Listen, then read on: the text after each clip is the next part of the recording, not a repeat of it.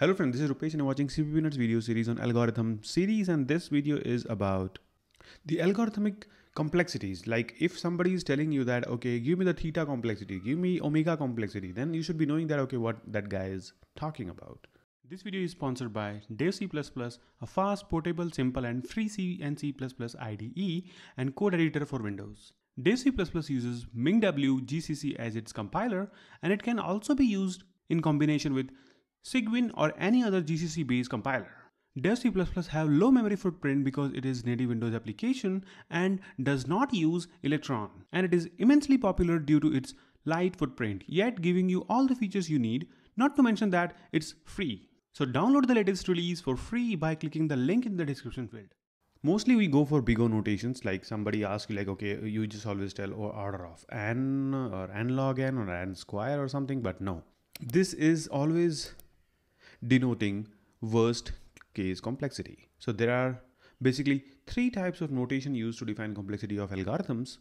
First is big O notation. So if you have any idea about the complexity of the algorithms, you must be knowing that what is this big O algorithm, I mean big O notations. And if someone asks you what is average time complexity, then you will go for theta. Like you will denote with theta and whatever the complexity would be. And similarly, if somebody asks like what is the best case, then you will go for omega and whatever the complexity is.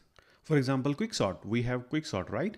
Then in that case, if you are telling what is the complexity of quicksort, then it is half because you're not explicit about what complexity you're talking about.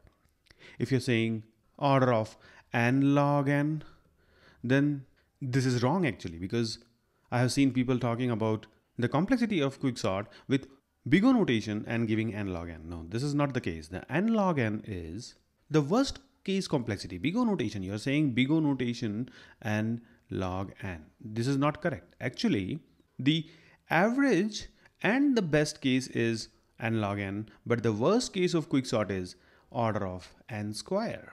And if you're wondering why this n square, actually if your list is already sorted like 1, 2, 3, 4, 5, 6 and you don't use randomized pivot point, you always start from one end which is not sorted, then you will end up having n square complexity. And this is the worst case. I know uh, you can find these kind of things in so many books, but still this is not correct.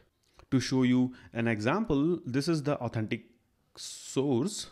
And if you see this quicksort, it is n log n for best case, n log n for average case, but worst is n square. See, and this is denoted with big O notation. Learn something new today, right? So give it a thumbs up. Thanks for watching guys. I will see you in the next videos. Bye bye. Take care.